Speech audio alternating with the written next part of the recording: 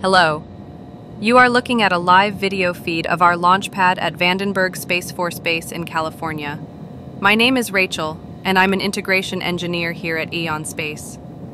Today we are hoping to launch the Arcturus L9 mission, consisting of 22 Arcturus satellites, to low Earth orbit on an Auriga Max rocket. Arcturus is AeonSpace's state-of-the-art communication network, enabled by a mega constellation of satellites. So far, we have launched three previous Arcturus missions on our own rockets, with two of those being the current Gen 2 satellites.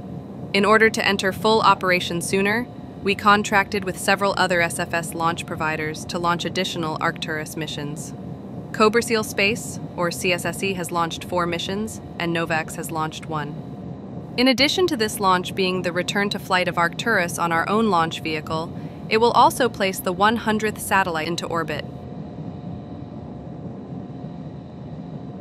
Let's get to know the rocket you are seeing right now a little better.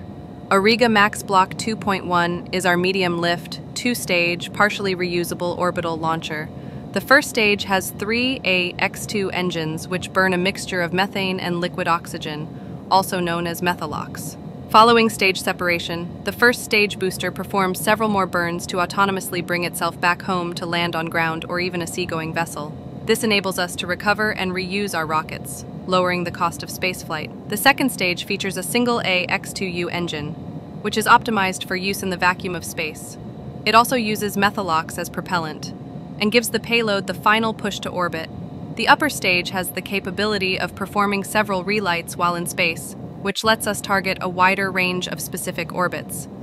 Auriga Max is the most efficient and capable rocket on the SFS market, which is why so many customers trust us with their payloads. To book a launch of your own, join our official Discord server using the link in the description and fill out our launch services form.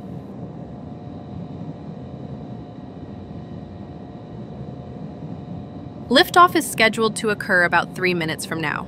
The action doesn't just begin at T0, however, as there are several key milestones that will be happening before then. The first event is the completion of propellant loading on both stages of the rocket, which should wrap up any second now. Next up will be the retraction of the strongback, which is the large black structure next to the rocket. It will swing away to avoid being damaged as the rocket lifts off. Shortly after that, at T minus one minute, the rocket will transition from ground power to its onboard or internal power. At this point, the rocket will be in control of itself and will be autonomously progressing through the final minute of the countdown. At 45 seconds to liftoff, the launch director will confirm that all systems are go for flight.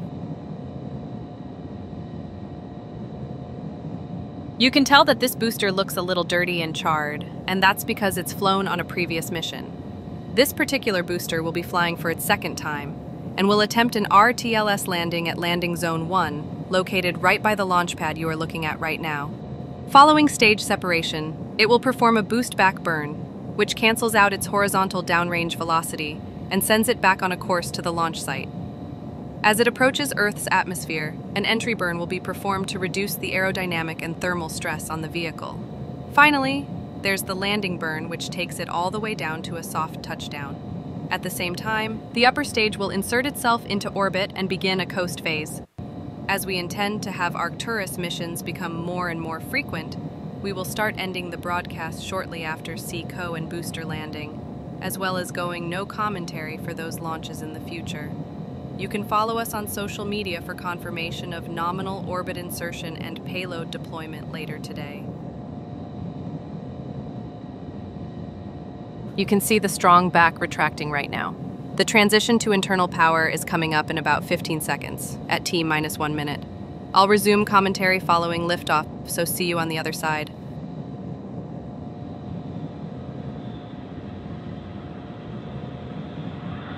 Vehicles at startup.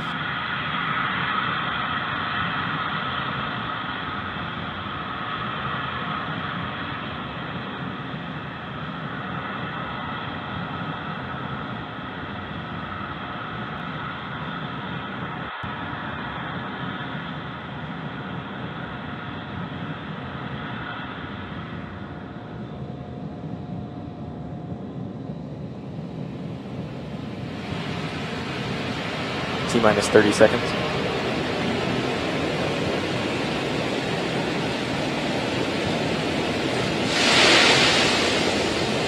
T minus 20 seconds. T minus 15. 10, 9, 8, 7, 6, 5, 4, 3, 0. Stage 1 center.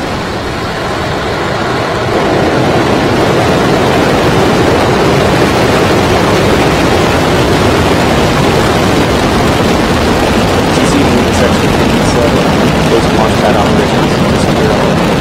GC to Section 57 post-launch operations.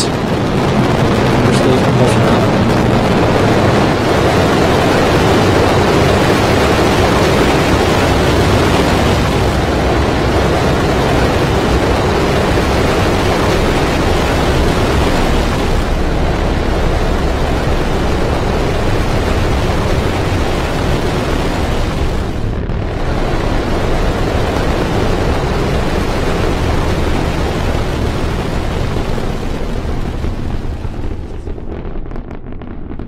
Max Q.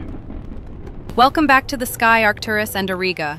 The vehicle has cleared max Q, the point where the aerodynamic stress on the rocket is at its peak during ascent. Coming up shortly, we should see main engine cutoff, stage separation, upper stage engine ignition, and first stage boost back burn startup all happen back to back.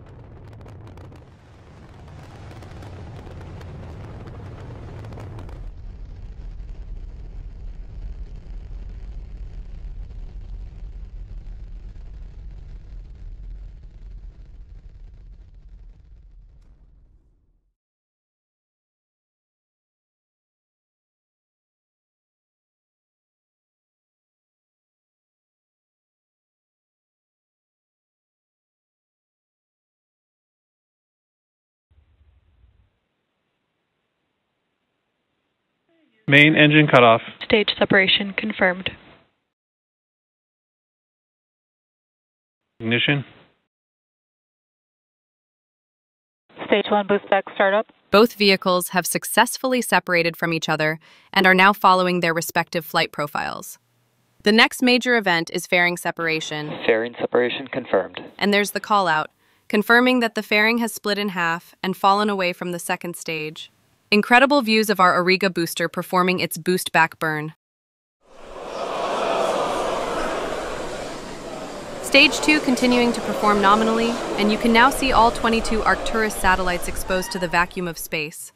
It did appear that the first stage's boost back burn was cut short, and we lost the video feed. Standing by for more information there from the control team.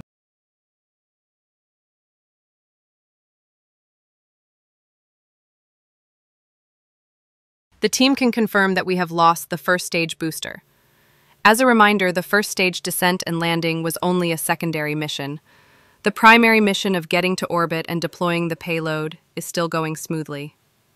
Stage 2 is continuing to perform as expected, and we are coming up on second engine cutoff 1 before entering the coast phase.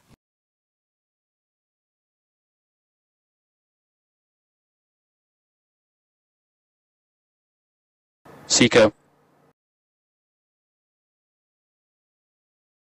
The upper stage has completed its first burn, and will now begin coasting through space before preforming a second burn to enter orbit and deploy all 22 satellites. This brings our live coverage to a close. You can follow us on social media for confirmation of payload deployment later today. We were unfortunately not able to recover the first stage due to an anomaly that occurred during the boost back burn, and we will work with the FAA to determine the cause of that failure. Thank you all for joining us today, and we'll see you next time for Mission 42, the launch of OrcaSat.